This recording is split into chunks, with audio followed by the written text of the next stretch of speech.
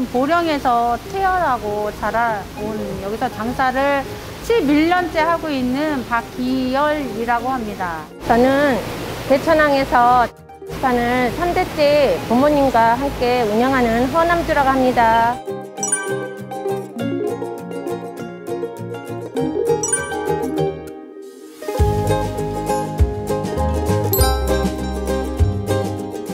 저희 집에 오셔갖고 물건을 한 번은 구매를 하셔가지고 식당 2층에서 드셨는데 그 뒤로 너무 맛있게 드셔가지고 내려오셔서 이제 저에게 찐 단골이 되셨는데 저희가 물건을 드리면서도 이제 조금 더 신경 써가지고 해드리면 항상 맛있게 드시고 고맙다고 말씀을 하고 가시더라고요.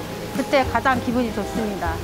어, 너무 친절하게 잘해주고 그런다고 자기 지역의 특산품도 많이 보내주고 그런 모습이 너무너무 좋아요. 조금만 정성으로 해서 손님이 찾아주시는 손님들 때문에 너무 흐뭇하고 감사합니다.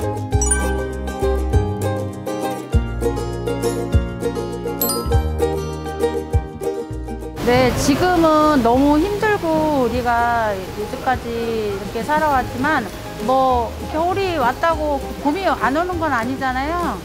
그렇게 이제 우리도 열심히 노력하다 보면은 정말로 좋은 날이 올 거라 생각합니다. 그날을 위해서 우리 모두 파이팅 합시다! 지금은 힘들지만 항상 웃고 찾아, 어, 찾아오시는 손님들한테 최선을 다하면 행복해질 겁니다. 여러분 힘내세요.